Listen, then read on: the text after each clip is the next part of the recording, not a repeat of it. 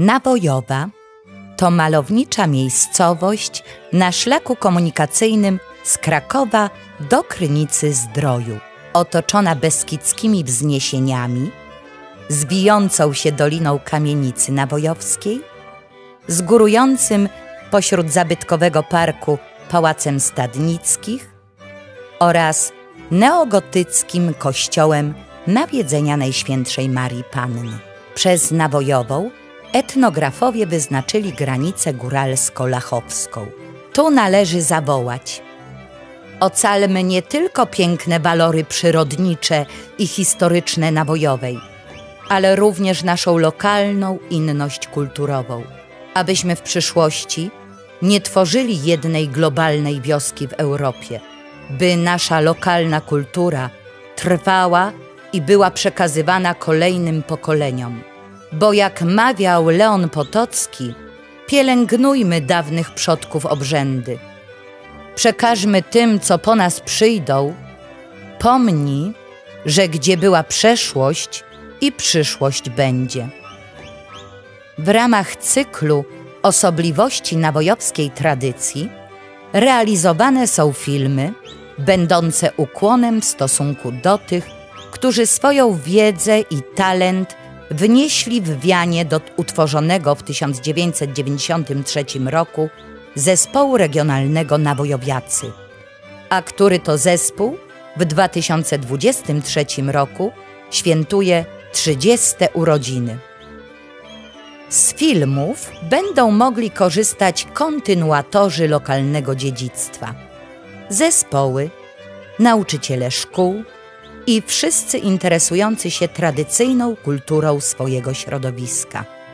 Film o pani Kazimierze Kozerze jest drugim filmem z serii Osobliwości nawojowskiej tradycji. Pani Kazimiera Kozera Urodziła się 6 grudnia 1935 roku w Nawojowej i tu mieszka do dzisiaj. Wraz z mężem wychowali i wykształcili trójkę dzieci. Mąż pracował zawodowo, a pani Kazimiera jako matka i żona zajmowała się głównie domem i wychowywaniem dzieci. Wspólnie z mężem gospodarowali na roli. Działała w kole gospodyń wiejskich w Nawojowej, w amatorskim zespole teatralnym, a od 1993 roku zaangażowała się w działalność zespołu regionalnego Nawojowiacy jako tancerka, śpiewaczka i aktorka. W środowisku parafii Nawojowa znana jest jako osoba prowadząca modlitwy i śpiew przy różnych uroczystościach kościelnych. No, moje zamiłowanie do śpiewu to z domu rodzinnego wyszło, bo mama moja miała piękny głos, śpiewała, lubiła śpiewać. Bracia też e, lubili śpiewać. I było wesoło, zawsze było święta, czy w ogóle imieniny mamy, czy taty, no to już było towarzystwo rozśpiewane. To pani Kazimiera jest osobą prowadzącą śpiewy przy zmarłych, które dawniej odbywały się w domach, gdzie przed pogrzebem spoczywała trumna z ciałem zmarłego. Śpiewano wtedy stare pieśni pogrzebowe, które już dzisiaj rzadko spotyka się w śpiewnikach i książeczkach do nabożeństw. Ostatnim zgonie bo ja tego nie wiem i wiedzieć nie mogę. Kiedy Ty wezwiesz, kiedy mnie Ty wezwiesz tak daleko drogę. Kiedy mnie Ty wezwiesz, kiedy mnie Ty wezwiesz tak daleko. Te śpiewy przy zmarłych przyjęłam też no, od rodziców, od mamy, bo mama też e, chodzili, od młodych lat my chodzili już do zmarłych. Bo jak też w rodzinie czy znajomych, to nawet wiosce się szło, bo to przed tym zmarli w domu leżeli, bo nie było kaplicy, no to szło się Dużo nawet ludzi przychodziło do, do śpiewania przy tych zmarłych. No i tak się zaczęło i tak my chodzili. A potem Władziu Borek prowadził przy tych zmarłych modlitwy, to razem myśmy chodziły. Pani Kazimiera znana jest z prowadzenia śpiewu Drogi Krzyżowej w kościele w starej wersji kalwaryjskiej. nie na chwilę małą. Zastanów się, bo pójdziemy w drogę krzyżową. Zastanów się, bo pójdziemy w drogę krzyżową. Dusze zmarłych wspominać i w czyśćcu im pomagać. Przemawia się teksty, zapowiada się te teksty, a potem ludzie śpiewają. Bo można przemawiać i można prześpiewać, bo też lepiej jest prześpiewać. I potem ludzie śpiewają te, te zwrotki. No i też wypożycza się zeszyty, jak idą na pielgrzymki, to wypożyczają, bo prowadzą tę drogę krzyżową na pielgrzymkach. Z inicjatywy pana Mariana Borka zespół regionalny Nawojowiacy zapoczątkował śpiewy pieśni maryjnych w miesiącu maju przy kapliczkach. Zespół z muzyką spotykał się wraz z mieszkańcami poszczególnych sołectw gminy Nawojowa. Śpiewy i modlitwy prowadziła bohaterka naszego filmu, pani Kazimiera. Święta Maryjo, święta Boża Rodzicielko, święta Panno nad Pannami, módl się za nami. Matko Chrystusowa, Matko Kościoła, Matko łaski Bożej, się za nami. Z zespołem Nawojowiacy brała udział w konkursach śpiewaczy. Na Druzbacce w Podegrodziu, Sabałowych Bajaniach w Bukowinie Tatrzańskiej, Zielonych Świątkach w Nawojowie. Może cię przyciska ciężar Twoich win. Biegnij więc do matki, jako dobry syn. Maryja ucieczką grzeszników się zwie. Nie płacze dziecino, nie płacze już nie.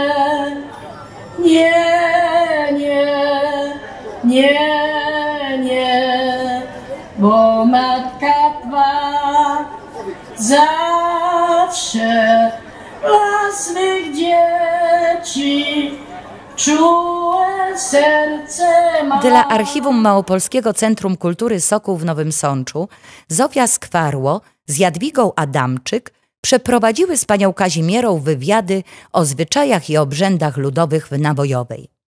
Nagrały pieśni ludowe, pieśni pogrzebowe oraz kalwaryjską drogę krzyżową. Proszę przywołać historię kapliczki przy waszym domu rodzinnym. No ta historia to rzeczywiście jest ciekawa, bo tata mój lubiał chodzić na handel trochę i z chłopakami tam, z kolegami wybrali się na, do Łęków, bo to tam tych Łęków już wysiedlali, wtedy już te wszystko, ta, wojnę. No i sobie pomyśleli, że tam mogą kupić taniej, bo jak już się już wysiedlają, to się będą chcieli pozwać, pozbyć to, co mieli. No i mieli się tam kupić owce czy barany, to już tego dokładnie nie wiem. No i tata zauważył tam gdzieś przy domu, już prawie takim pustym, tą kapliczkę, co była oparta albo o ścianę domu, albo o stodoły, już tego nie pamiętam dobrze. I mówi do tych chłopów, wiecie chłopy, co, ja bym tę kapliczkę wziął do domu, bo mówi, ona tu pójdzie w poniewierkę, będzie, mówi, tu zniszczy się, a ja sobie, mówi, wezmę i postawię przy, przy domu. No i tak zrobił. I było nasze zdziwienie, z czym ten tata przy, przyjechał z tych, z tych wojaży swoich handlowych. No i właśnie postawił na, nad domem rodzinnym tam na brzegu, na takim brzegu i stała ta kapliczka, stoi do dziś. Chodziły w nawojowej draby, bo robiliśmy ten program z zespołem nawojowiacy. Chodziły, ale to było już dość dawno, także chodziły, chodziły.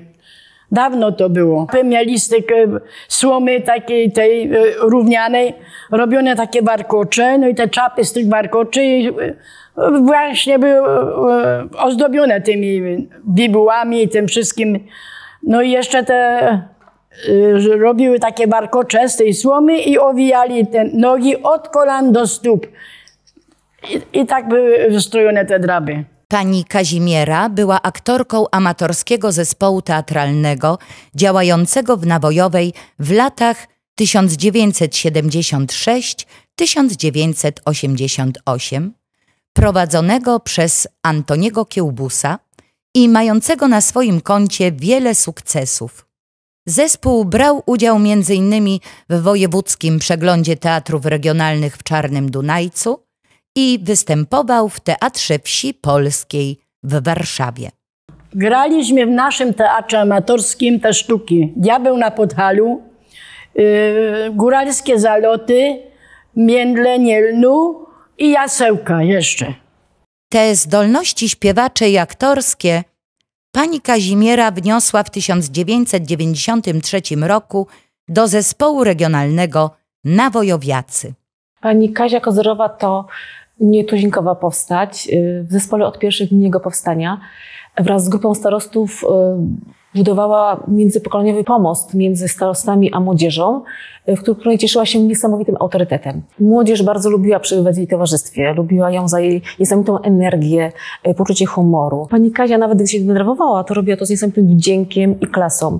Niektórzy specjalnie prowokowali ją do tego, ponieważ miało to swój urok, swoje ciepło. Nie jeden marzył o tym, żeby być zdzielonym przez panią Kazię. Pani Kazia na scenie, lubiła, y, na scenie czuła się bardzo dobrze. Scena ją lubiła. Y, pani Kazi wystarczyło podać scenariusz, a reszta płynęła. Pani Kazia to osoba pełna pasji. Taniec i śpiew to jej żywioły. Bezbłędnie wchodziła w każde role. Była zaangażowana w życie zespołu. Y, zawsze robiła coś na 100%. To była taka pani Kazia na 100%. W zespole tańczyła z panami. Antonim Cebulą, Bronisławem Bugańskim, Janem Ziają, Marianem Kulpą, Józefem Skoczniem, Andrzejem Mliczkiem. Tańczyć z taką osobą to niewątpliwie wielka przyjemność. W szczególności dlatego, że z panią Kazimierą to nie dało się tak tańczyć, by tańczyć na przysłowiowego półgwistka. I osoba w tańcu jest niewątpliwie bardzo wymagająca. Dostrzegłem to od samego początku, od pierwszej chwili, od pierwszego jej spojrzenia, od pierwszego jej ruchu. Nie pozwoliła od samego początku na żaden mój fałszywy ruch czy gest. Wydawało mi się, że z tą panią to nie będą przelewki. Według mnie posiada ten mocny i silny zmysł ruchu, taktu. Poprzez co tańczyć należało tak, jak mówi o tym sztuka taneczna. Y, zaznaczała poszczególne frazy w tańcu różnego typu i rodzaju gestami.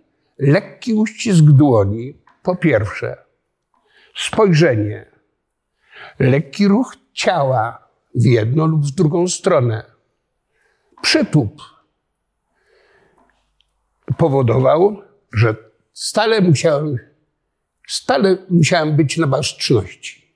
Nie mogłem tej tancerki zawieść. Dawałem wtedy naprawdę maksimum. Wydawało mi się, że tak, należy ją tym nagrodzić, bo czuło się to, że ta kobieta się starała. Myślę, że od samego zarania, od samego jej początku miała w sobie to, to coś, co zachwyca. I wykazała to niejednokrotnie tańcząc, a ja miałem przyjemność właśnie tego dostąpić. Główne nagrody za widowiska obyczajowe, które zespół zdobył na szczeblu regionalnym, ogólnopolskim i międzynarodowym, są w znacznej mierze zasługą pani Kazimiery Kozery. Miałam szczęście do zdolnych ludzi w zespole, tak do tych wcześniej urodzonych, jak i do młodzieży. Dzięki czemu mogłam pisać ambitniejsze scenariusze, bo było się na kim oprzeć. Do takich osób należy pani Kazia Kozerowa. Świetna tancerka, śpiewaczka i, i, aktors, i aktorka. Najlepsze swoje kreacje wykreowała w duecie z Bronisławem e, Bugańskim w programie Muzyka po odpuście w Nowojowy, za który zdobyliśmy brązową ciupakę na Międzynarodowym Festiwalu Ziemgórskim w Zakopanem. Był to trzeci rok, trzeci rok działalności zespołów. Pokazałam zespół na poważnych już przeglądach folklorystycznych. I tak, w Nowym Sączu na wojewódzkim przeglądzie zdobyliśmy bardzo wysoko, wysokie miejsce. Pojechaliśmy na Festiwal Górali Polskich do Żywca. Tam zostaliśmy wyróżnieni i od razu skierowani do Zakopanego. To tego naprawdę nie, nie spodziewaliśmy się w tym czasie. Fakt, że byliśmy dobrze przygotowane, tak dorośli, jak i młodzież świetnie tańcząca.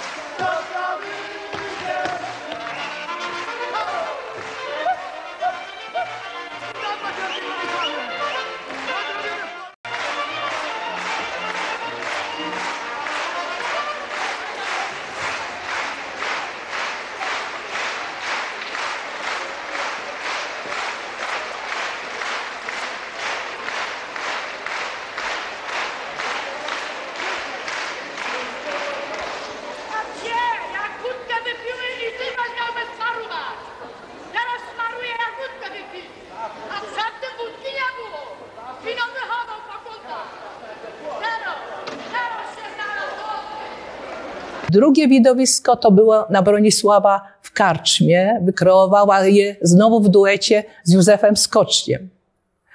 To widowisko przygotowałam, napisałam na jubileusz dziesięciolecia zespołu dla uhonorowania naszego 80-latka Bronisława Bugańskiego.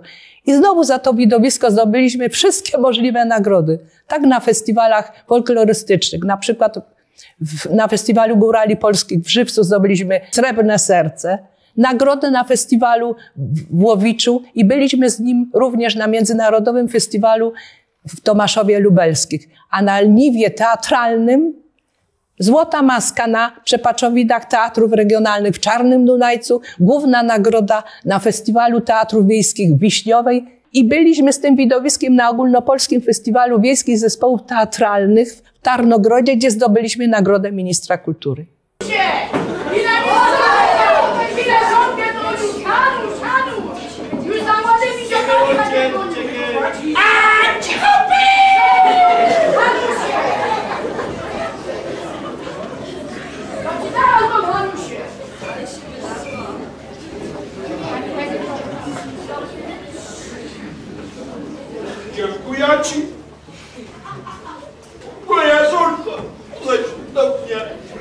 przyniosła?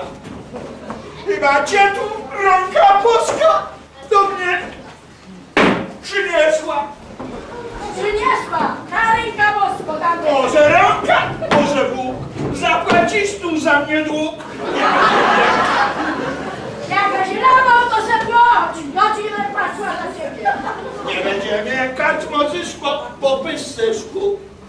Tu. Będzie tu, nie bój się, dobre oberwie. Może rękę? Może Bóg. Zapłacisz tu za mnie dług? Na to nie licz! Ja ci zapłacę dług. Nie licz na to. Nie będziemy kać możesz po, po pyscyszku tu. Będzie cię tuli, to nie los. Tyś nie jadła?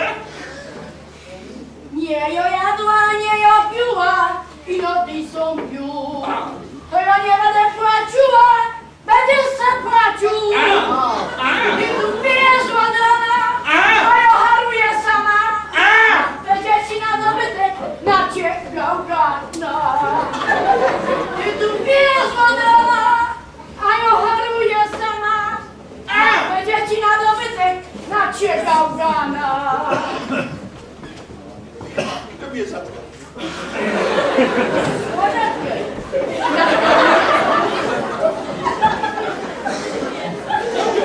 Daj mi spokój! Nie nerwuj się, żoneczko. Że ja piję dziś od rana to wina twoja.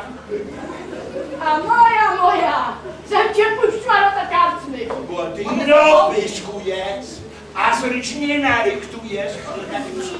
Gdzie się bije, tam się zry.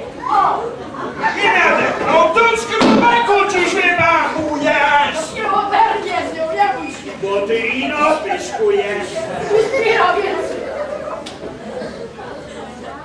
a zrycznie naryktujesz. I nade mną to z grubaku dziś wy... Daj, daj.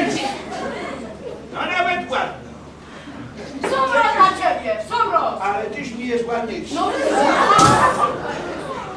Tyś mi jest ładniejsza. Tyś jest moja bułeczka. Ty jest moja wódka, ty mój cytruś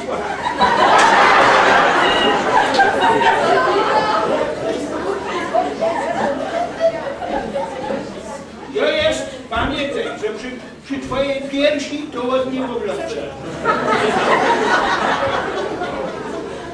Krecie na szkole polne. Kaziu,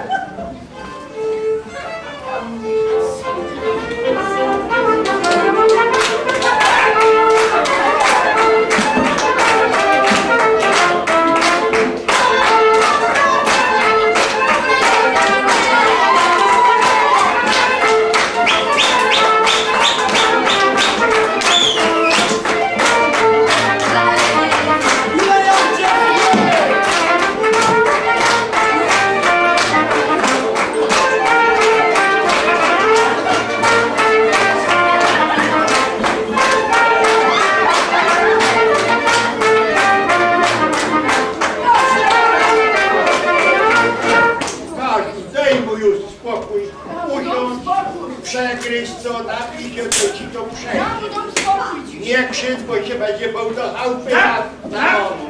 Nie cię dali lawać. Ja ci postawię lemoniadę, tylko se zapłać.